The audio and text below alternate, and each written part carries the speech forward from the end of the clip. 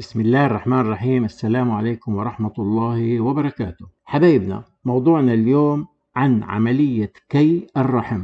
ردا على سؤال ورد في القناة من بعض حبايبنا المشتركين وأحببت أن أعمم هذه الفائدة لأهمية هذا الموضوع. وكان جواب السؤال كالتالي أهلا وسهلا بك في قناتك. حسب ما فهمت أن عملية كي الرحم حصلت معك أربع مرات. سأورد لك بعض المعلومات من الممكن أن تساعدك في الوقاية والعلاج وهذه النصائح تكون بعد كي قرحة الرحم ويجب الالتزام بها وذلك تجنبا لحدوث المضاعفات والتي تشمل الآتي.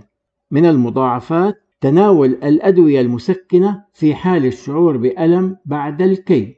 أيضا يجب العلم بأن مثل هذه العملية قد يرافقها نزيف قد يستمر ما بين شهر إلى شهر ونصف وهذا أمر طبيعي. أيضا الحرص على استخدام فوط صحية والابتعاد عن السدادات القطنية حتى أن يحين موعد الدورة الشهرية مع الحرص على تبديلها بشكل منتظم. أيضا الابتعاد عن الجماع لمدة أسبوعين إلى ثلاثة بعد العملية أو بعد أسبوع من انتهاء النزيف إن وجد. أيضا الاستمرار في أخذ حبوب منع الحمل في حال كنت تأخذينها قبل العملية. أيضا الابتعاد عن حمل أشياء ثقيلة أو ممارسة رياضات مجهدة وذلك لكي لا يزيد النزيف. أيضا استخدام المراهم التي تحتوي المضادات الحيوية كما هو مطلوب في حال قام الطبيب بصرفها. أيضا تجنب السباحة بعد العملية إلى أسبوع بعد وقف النزيف. ويمكن استخدام الحمام بعد العملية مباشرة مع الحرص على التنظيف بشكل لطيف. ومن النصائح للرعاية طويلة الأمد بعد كي عنق الرحم من المعروف أن نسبة نجاح عملية كي عنق الرحم لا تصل إلى 100% فإنها لا تلغي ظهور أعراض في أي جزء من الرحم لم يتم استئصاله أو كيه. ومن هنا يمكن أن يكون الكي عدة مرات كما حدث معك.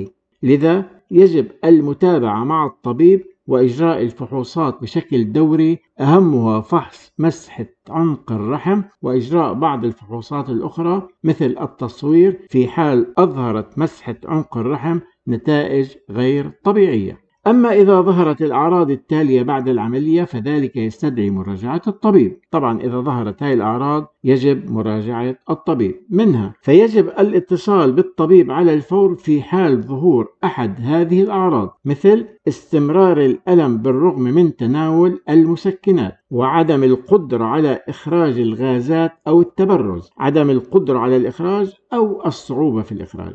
أيضا زيادة في إفرازات المهبل مع وجود رائحة لها. أيضا وجع في المعدة أو عدم القدرة على شرب السوائل. أيضا ظهور أعراض التهاب مثل الحمى أو الانتفاخ أو الإحمرار أو أي ألم. أيضا النزيف الحاد.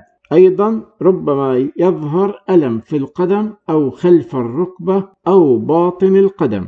إذا ظهرت هذه الأعراض يجب مراجعة الطبيب. وغالبا تعد عملية كي الرحم ناجحة بنسبة 85 إلى 90% وللتأكد من ذلك يقوم الطبيب بطلب مسحة لعنق الرحم بعد 3 إلى 6 أشهر من العملية ليتأكد من أن الخلايا التي كانت على السطح قد اختفت ولم تتجدد ثانية ودعواتنا لك بالشفاء التام ودمت وأحبتك بأحسن حال. وعلى الرحب والسعة دائما في قناتك. كان ذلك جوابا على السؤال. ودائما وأبدا الحمد لله على نعمه التي لا تعد ولا تحصى وإلى اللقاء مع معلومة صحية جديدة.